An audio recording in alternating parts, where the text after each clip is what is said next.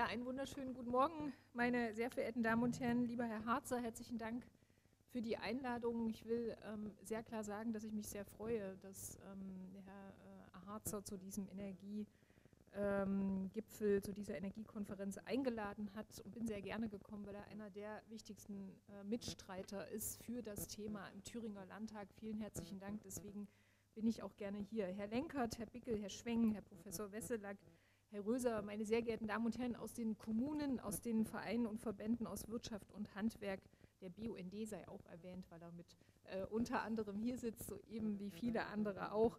Ähm, lassen Sie uns darüber reden, was ähm, Klima und Energie derzeit ähm, thematisch besonders ähm, sozusagen im Mittelpunkt haben als große Themenblöcke. Lassen Sie uns auch darüber reden, was Rot-Rot-Grün in den letzten zwei Jahren, weil seit dem 5.12. sind es zwei Jahre klima- und energiepolitisch bewegt hat und auch was wir bewegen wollen, angesichts dessen, was wir global in Paris und Marrakesch quasi an Dingen, die inklusive des Klimaschutzplans der Bundesregierung ähm, für uns äh, zu bewegen sind und angesichts dessen, was wir auch in Thüringen vorhaben, als Vorreiterrolle natürlich äh, einzunehmen. Diese Koalition hat sich ja durchaus ins Stammbuch geschrieben, sozial, gerecht und vor allen Dingen auch ökologisch äh, zu bewegen. Von daher gibt es durchaus, äh, denke ich, auch heute viel Diskussionsstoff.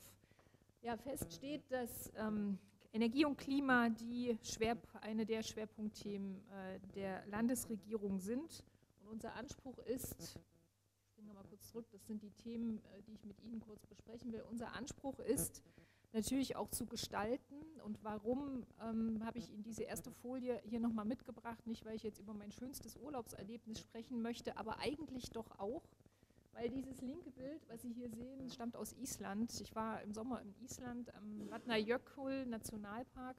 Und dort gibt es eine Gletscherlagune, Jökull Salon, die, wer von Ihnen James Bond-Fan ist, äh, an der einen oder anderen Stelle vielleicht auch schon mal gesehen haben dürfte. Das ist links ähm, die absolute, neben den Geysiren, der äh, Frage unterschiedlicher Wasserfälle, eine der großen Touristenattraktionen, wie man sieht, wie zum Teil 1000 Jahre altes Eis vom Gletscher abbricht. Ähm, man kann es deswegen erkennen, weil die unterschiedlichen Schichten, die sich im Eis wiederfinden, wenn ein Vulkanausbruch war, ist es mal schwarz. In dem Moment, wenn sozusagen der Gletscher wieder gewachsen ist, weiß.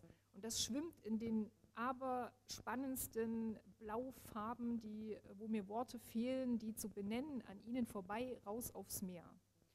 Und ähm, diese Gletscherlagune äh, wächst von Jahr zu Jahr. Die sieht morgens auch anders aus, wenn nachts viel runtergebrochen ist als äh, abends. Und so gesehen äh, haben sie die Möglichkeit, dieses Eis aus dem Wasser ähm, zu holen und dabei zu sehen, wie dieser Gletscher an verschiedenen Stellen schmilzt. Das war ähm, mit Sicherheit eine der spannendsten Erfahrungen, ähm, wenn man sozusagen den Klimawandel sehen will, äh, die ich auch hatte, muss ich auch so offen gestehen. Da geht man auch anders dann äh, nach Hause, als man beeindruckt auch an anderen Stellen hingefahren ist. Sie sehen außerdem Bilder aus dem Jemen und aus Syrien, wo sie sozusagen äh, durch entsprechende Dürren, durch die Art und Weise, wie wir mit Sicherheit alle bewegt von der Frage, ähm, wie verändert der Klimawandel auch äh, bestimmte Klimazonen weltweit und was heißt das am Ende auch für kommende Fluchtbewegungen ähm, deutlich sind. Eigentlich zweifelt, Steffen Harzer dürfte mir mindestens zustimmen nach der gestrigen Debatte äh, im Thüringer Landtag, bis auf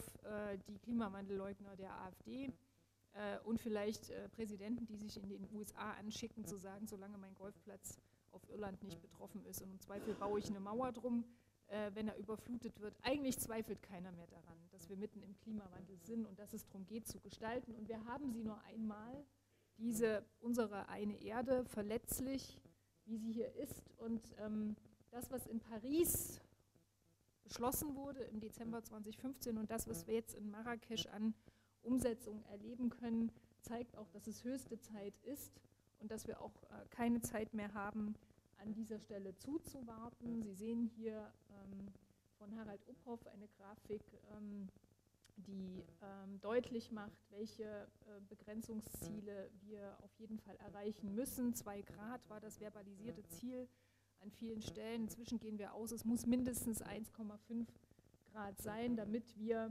tatsächlich auch äh, die Erderwärmung begrenzen können. Und dazu braucht es konsequente Klimaschutzpfade, dazu braucht es ein konsequentes Umsetzen. Und nach Indien, nach China und nach den USA hat dann ja auch die Bundesrepublik dieses Jahr Paris unterschrieben. Ähm, jetzt muss man, äh, muss man auch sehen, dass man an dieser Stelle weiterkommt und vor allen Dingen eins tut sich nicht im Klein-Klein verhaken. Fakt ist für uns alle, wir können nicht so weitermachen wie bisher. Und ich will deswegen vor allen Dingen auch äh, den bundespolitischen Rahmen noch mal ein bisschen intensiver streifen. Energie- und Klimapolitik macht weder an Grenzen halt, noch an den äh, Vorstellungen, die jeweils auf den unterschiedlichen Ebenen äh, tatsächlich zu regeln sind. Und ähm, gerade wir in den Ländern sind massiv abhängig vom bundespolitischen Rahmen und natürlich auch vom europäischen Rahmen. Und das sage ich auch insbesondere mit Blick auf dieses Jahr, rückblickend, das Jahr 2016, wo wir im Energieministerium vor allen Dingen mit einem Thema ganz massiv uns beschäftigt haben, was den bundespolitischen Rahmen betrifft, das ist die EEG-Novelle. Ähm, die EEG-Novelle, an die sozusagen den Geist geatmet hat, ähm, dass es darum geht, vor allen Dingen den Ausbau der Erneuerbaren einzubremsen und der, die den Geist geatmet hat, die Diskussion, dass wir ähm, vor allen Dingen was das Thema Kohle angeht, ähm, äh, durchaus äh, zögerlich sind. Da bin ich beim Klimaschutzplan der Bundesregierung, ähm, von, wer A sagt, äh, am Ende auch B zu sagen. Und deswegen äh, müssen wir leider feststellen, dass ähm, die Festlegung auf einen Mindestpreis beim Emissionshandel und konkrete Maßnahmen im Verkehrsbereich eben nach wie vor fehlen dass wir, was die EEG-Novelle betrifft, ab 2017 erschwerte Ausbaubedingungen haben werden, übrigens gerade auch im Bereich Wind äh, und gerade auch im Bereich Solar und dass wir nach wie vor auch keine, der Bereich Wärme wurde angesprochen, ich will das auch nachher noch dezidierter tun, noch keinen wirklichen Pfad haben, der eben mit diesen besagten 50 Prozent ähm, am Ende uns auch einen besseren äh, Rahmen vorgibt. Zur Rolle der Länder. Ich denke, dass ähm, nicht nur im Bundesrat, sondern auch darüber hinaus, ähm, dadurch, dass sich auch Allianzen gebildet haben, die vielleicht vordergründig ähm, keiner auf dem Schirm hatte, die Rolle der Länder gerade auch energiepolitisch in den letzten Monaten immer stärker geworden ist und man an der Stelle auch äh, ganz eindeutig erkennen kann, das föderale System auf dieser Ebene hilft. Wir haben uns beim Thema KWK, Kraft-Wärme-Kopplung, ganz stark gemacht im Bundesrat, weil die Bundesregierung für KWK-Anlagen zwischen 51 MW der Förderung schon ausschreiben will, vergleichbar wie bei den erneuerbaren Energien. Und wenn man, das betrifft ja vor allen Dingen unsere Stadtwerke, mitten im Spiel die Regeln ändert, dann geht das immer zu Lasten derer, die schon angefangen haben, auf dem Spielfeld ähm, sich zu bewegen bzw. ihre Planungen voranzubringen. Ähm, wir haben uns deswegen im Bundesrat für ein höheres Ausschreibungsvolumen eingesetzt, für eine Regelung, die kleinere Anlagen eben nicht unter dieses komplizierte Ausschreibungssystem fallen lässt. Das sind auch so Punkte, wo man deutlich sieht, EEG-Novelle, KWK und viele andere Bereiche. Ähm, hier ist äh, das Land Thüringen an der Seite derer unterwegs, ähm, die auch gestalten wollen, und zwar in dem Bereich, wie wir ihn auch verabredet haben. Für die Erneuerbaren gilt der Ausbau muss gesichert und vor allen Dingen die Vielfalt der Akteure gewährleistet werden. Und ich will jetzt nochmal bei dem Thema Photovoltaik ähm, kurz illustrieren, was das eigentlich heißt, weil wir haben uns mühselig im Rahmen der EEG-Novellendebatte auch über die Ausbaupfade der Photovoltaik unterhalten. Fakt ist, dass weltweit täglich über 500.000 Solarpanels installiert werden. 500.000. Wenn man sich die Zahlen für die Bundesrepublik anguckt und die, wie ich finde, doch eher zurückhaltenden äh, Grenzen, die man sich da auch für die Photovoltaik gesetzt hat, bleiben wir 2014 und 2015 selbst hinter diesen eher bescheiden formulierten Grenzen deutlich zurück. Das waren 2500 Megawatt pro Jahr. Noch nicht mal das ist sozusagen erreicht worden. Und mit der EEG-Novelle 2017 ähm, wird das mit Sicherheit auch nicht besser, was das vorherige EEG hier an Bremse ähm, sprichwörtlich erzeugt hat. Und deswegen sind wir gefragt, ähm, hier auch als Länder nicht nur Nischen zu suchen, ich komme auch gleich darauf, die uns die jeweiligen EEG-Novellen bieten, sondern auch voranzugehen und Druck zu machen und auch mit eigenen Programmen den Bund dazu zu bewegen, hier wieder in eine Vorholbewegung zu gehen, inklusive dessen, dass wir natürlich die heimische Industrie auch schützen wollen.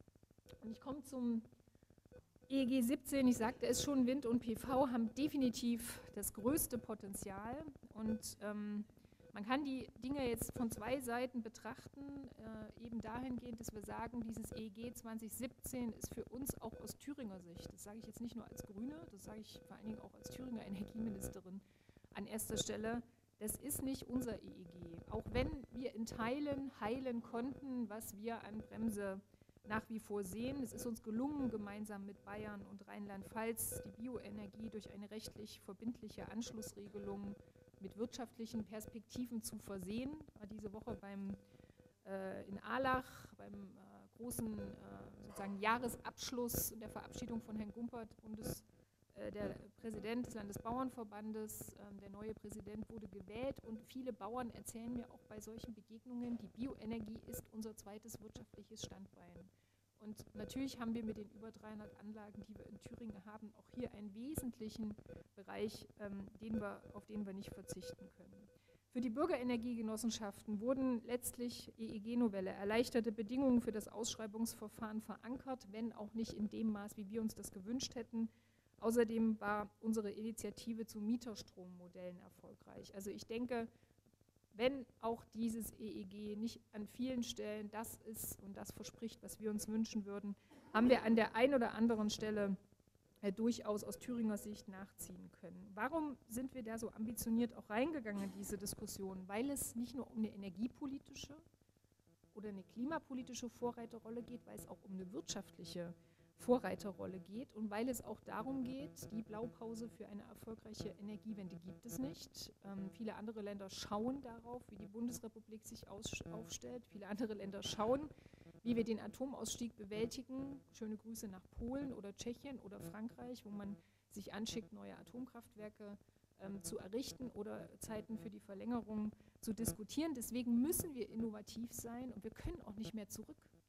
Ähm, das Einzige, was es jetzt äh, gilt, ähm, ist deutlich zu machen, Innovation und Lösungsbereitschaft ist das Diktum dieser Energiewende. Da wollen wir unseren Anteil leisten. Und deswegen brauchen wir die Lösung für die großen Fragen, die sich aus meiner Sicht stellen, die da heißen, wie sich eben die hohen Anteile Erneuerbare in das Stromsystem vollumfänglich integrieren lassen. Diese Frage müssen wir beantworten, wie überschüssiger erneuerbarer Strom für andere Sektoren genutzt werden kann, Stichwort Sektorenkopplung und wie Klimaverträglichkeit, Versorgungssicherheit und Wirtschaftlichkeit vereinbar sind. Auch das ist das zentrale, sind die zentralen Punkte. Dass wir da in Thüringen die Nase vorn haben, dass Thüringen verstanden hat, da braucht man nur in die letzten beiden Ausgaben der Zeitschrift Neue Energie zu schauen. In der vorletzten Magazin Neue Energie ähm, war eine äh, WKA vom Typ Vestas V 126 zu sehen und äh, deutlich zu lesen, wie die Windkraft in Thüringen äh, sich als Potenzial auch in Thüringen aufstellt und entwickelt. Im Magazin im Dezember wird unser Siegel faire Windenergie in einem großen Artikel ähm, illustriert und damit auch, wie wir dafür sorgen wollen, für Akzeptanz ähm, äh, quasi Akzeptanz in der Bevölkerung zu sichern bei diesem schwierigen Thema. Ich denke, äh, dass auch bundesweit wahrgenommen wird, was wir tun und im Übrigen ähm, ist eins der Bereiche, die wir hier mit dem Bundesverband der Solarenergie auf den Weg gebracht haben, Solar Invest. Ich habe ja vorhin gesagt, wenn man als Landesregierung äh, sich die EEG-Novelle anschaut, im Bundesrat heilt an den Stellen, wo zu heilen ist. Und dann macht man sich aber als nächstes, wenn der Beschluss denn gefasst ist, auf die Suche nach Nischen. Eine Nische ist die Frage ähm, Mieterstrom, Solar Invest ähm, ist ein Beitrag, den wir sehen, äh, sozial, ökologisch und innovativ ähm, mit einem Fördervolumen von 3,4 Millionen Euro äh, für dieses und nächstes Jahr Anreize zur Nutzung klimafreundlicher Sonnenenergie zu schaffen. Die Sonne stellt ja bekanntlich keine Rechnung und deswegen fördern wir Photovoltaikanlagen, wenn sie Strom zum Eigenverbrauch oder Direktverbrauch vor Ort erzeugen und nicht in öffentliche Netze einspeisen. Und wir fördern sie mit 50 Prozent der Kosten. Bislang haben es ja vor allem Mieterinnen und Mieter schwer, von den Chancen der Energiewende zu profitieren. Das ist aber einer der entscheidenden Faktoren für die hohe Akzeptanz der Energiewende. Ähnliche Mieterstrommodelle gibt es bislang nur in NRW und Hessen. Und bemerkenswerterweise hat auf der Energiekonferenz, die wir im November in Weimar in der Kongresshalle hatten, der parlamentarische Staatssekretär erwähnt, man könne sich das, wenn die Länder es denn möchten, auch auf Bundesebene feststellen, entsprechende Regelungen äh, zu treffen. Das meine ich mit der veränderten Rolle der Länder, die an dieser Stelle hoffentlich auch wirkt. Ich denke, Mieterstrom ist nicht nur ökologisch sinnvoll, sondern auch ein ausgewiesen soziales Konzept.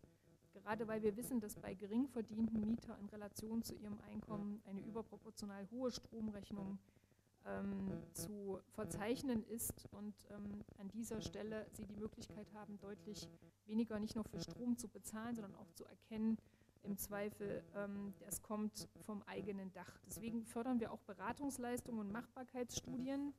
Ähm, auch das gehört zu diesem Programm dazu, was ein kleiner Beitrag dazu sein soll, ähm, dass wir hier aus Ländersicht auch nachjustieren müssen. Das gleiche gilt für das Förderprogramm Green Invest. Das ist ein Energieeffizienzprogramm.